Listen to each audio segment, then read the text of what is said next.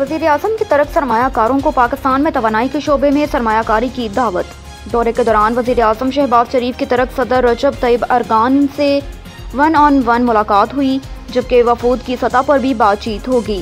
जराये का कहना है कि दोनों रहनुमा जराए अबलाग से मुश्तर खिताब भी करेंगे। इसके अलावा मरूफ तरह कंपनियों के सरबरा भी वजी अजम शहबाज शरीफ से मुलाकात करेंगे। हुक्मरान इकतदार के नशे में चादर और चार दीवारी के तकदस को पामाल कर रहे हैं। परवेज इलाही ने कहा कि स्पीकर पंजाब असम्बली चौधरी परवेज इलाही से तहरीक इंसाफ के अरकान, पंजाब असम्बली के वफद ने मुलाकात की। वफद में ख्याल अहमद कास्त्रो असकर अली सरदार जैनब उमेर, शमसा अली खान और तलत फातमा नकवी एडवोकेट शामिल थी।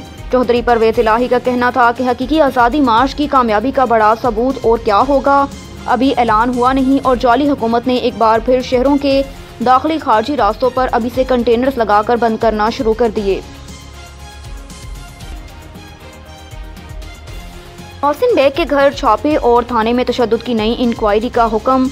इस्लामाबाद हाई कोर्ट के चीफ जस्टिस अतर अमानुल्लाह की सरबराही में सहाफ़ी मोहसिन बेग के घर एफ़ आई ए की छापे से मुतलिक केस की समात हुई, जिस दौरान जस्टिस अतर अमानुल्लाह ने रिमार्क्स दिए कि थाने का काम लोगों की हिफाजत करना है। ये लोग आम लोगों के साथ क्या सलूक करते हैं? वो तो उस अदालत भी नहीं आ सकते। अदालत ने सहाफ़ी मोहसिन बेग के घर एफ़ आई ए के छापे और थाने में तशद की नई इंक्वायरी का हुक्म देते हुए डिस्ट्रिक्ट मजिस्ट्रेट को एक माह में इंक्वायरी रिपोर्ट जमा करवाने का हुक्म दिया और समाज यकम जुलाई तक मुलतवी कर दी।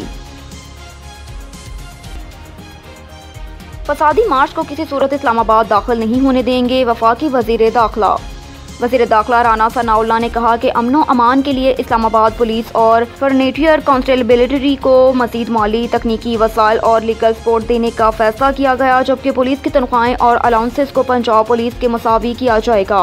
वफाकी वज़ीर ने बताया कि गुजशत रोज़ वफाकी कबीना ने फसादी मार्च के शरपसंदों की पुलिस, रेंजर्स और एफ़ सी एहलकारों पर तशद हमलों की शदीद अल्फाज में मुसम्मत की है। जबकि पेशा वाराना तरीके से हैंडल करने पर अमन अमान को यकीनी बनाने के लिए पुलिस रेंजर्स और एफ़ को ज़बरदस्त खराज तहसीन पेश करते हैं।